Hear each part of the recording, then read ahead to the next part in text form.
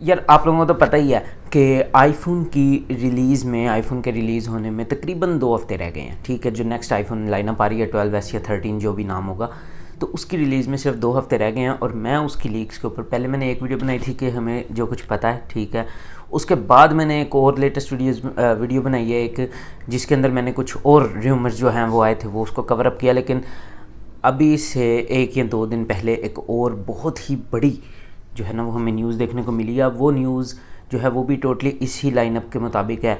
तो मैंने सोचा, मैंने क्योंकि आप लोगों से कहा था कि मैं एक एक चीज़ आप लोगों को बताऊँगा।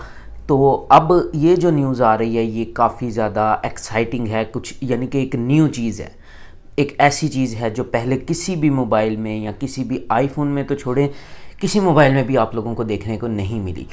तो वो क्या है, उसके हवाले से आज जो है ना, वो हम इस वीडियो में बात करेंगे। और अगर वीडियो पसंद आए तो इसको लाइक ज़रूर कर देना और चैनल को ज़रूर सब्सक्राइब कर देना इसी तरह की मजीद अमेजिंग वीडियोस देखने के लिए। अच्छा वैसे इस न्यूज़ को जो है मैंने वो इंक्लूड नहीं करना था, लेकिन ये न्यूज़ आ रही है मिंची को की तरफ़ से, जिसका ट्रैक रिकॉर्ड बहुत ही अच्छा बहुत ही रिलायबल लीकस्टर है मिंची को तो लास्ट मिनट लीक है और मिंगशिको की तरफ़ से। ये दो रीज़न्स लास्ट मिनट लीक का मतलब ये है कि ये काफ़ी ज़्यादा चांसेस हैं इसके कि ये सही हो।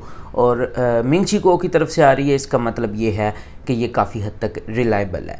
देखेंगे, जब आएगा आईफोन तो पता लगेगा कि ये कितनी रिलायबल थी, ठीक है, नहीं है, लेकिन क्योंकि न्यूज़ है तो आप लोगों को बताना बनता है। अब वो एक बहुत बड़ी न्यूज़ ये है कि एप्पल के फ़ोन में आईफोन में जो नेक्स्ट आ रहा है उसके अंदर आप लोगों को सैटेलाइट कम्युनिकेशन देखने को मिलेगी लियो ऑर्बिट्स के साथ। अब लियो का मतलब है लो अर्थ ऑर्बिट्स ठीक है? अब लो अर्थ ऑर्बिट जो है वो ये होता है कि ज़मीन के इर्द गिर्द जो आपके सैटेलाइट्स आर्टिफिशियल जो आप लोगों ने भेजे हैं, वो रिवॉल्व कर रहे हैं, वो घूम रहे हैं उसके इर्द गिर्द तो उन सैटेलाइट्स को यूज़ करके एप्पल अपने आईफोन में सैटेलाइट कम्युनिकेशन लेके आने वाला है।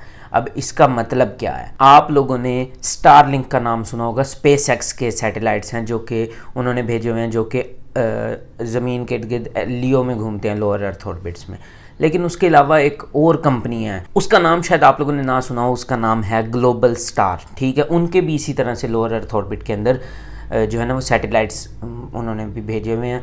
तो ये थोड़ी सी यानी कि कम, इन, इनके सैटेलाइट्स कम हैं, इसके बारे में आपने सुना भी कम होगा, लेकिन एप्पल के जो आईफोन आ रहा है नेक्स्ट उसके अंदर कॉलकॉम ने चिपसेट लगाई है, वो सॉरी मोडेम लगाया है, जिसका नाम है X sixty five G modem है।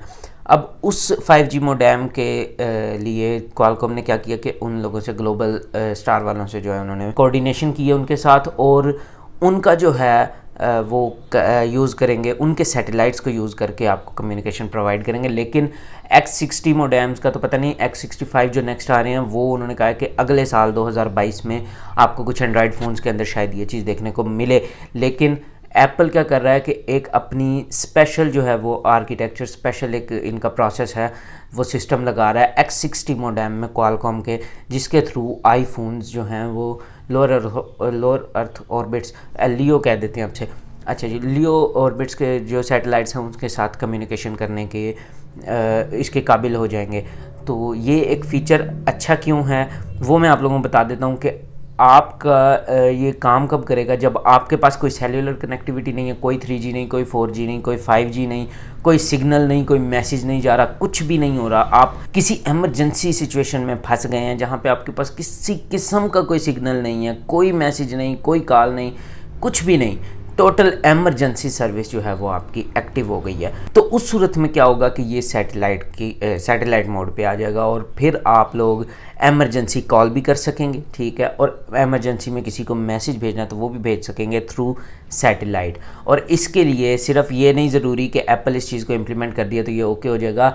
इसके लिए आपका जो नेटवर्क प्रोवाइडर है, जिस तरह से अमेरिका में वराइजन वगैरह हो गया ए हो गया, ठीक है? टी मोबाइल हो गया, इसी तरह से पाकिस्तान के अंदर जो है वो जैज़ है जोंग है, ठीक है? इस तरह से आप लोगों के नेटवर्क प्रोवाइडर को आपके ये आईफोन वालों के साथ जो है, इनके साथ कोऑर्डिनेट करना पड़ेगा और इस चीज़, इस फीचर को एक्टिव करना पड़ेगा थ्रू सॉफ्टवेयर ठीक है? तो इसके लिए आपकी सिम अंदर होनी चाहिए, ठीक है? और उसके अलावा आपका नेटवर्क इस चीज़ को सपोर्ट करना चाहिए। तो उस सूरत में जब ये एमरजेंसी में जाएगा तो आप लोग किसी को भी एमरजेंसी कॉल करनी हो तो वो सैटेलाइट के थ्रू कर सकेंगे और इसके अलावा किसी को आपने मैसेज भेजना है तो वो भी आप सेटेलाइट के थ्रू कर सकेंगे। तो ये एक ट्रूली जो है वो एक इनोवेशन है। मुझे नहीं पता पाकिस्तान के अंदर आएगी कि नहीं, लेकिन इंडिया का भी नहीं पता, वहाँ पे भी आएगी कि नहीं, लेकिन वहाँ पे चांसेस हैं आने के। लेकिन अमेरिका में तो ट्रूली श्योरली ये इसके ज़्यादा चांसेस हैं आने के, अगर ये फ़ीचर आया तो।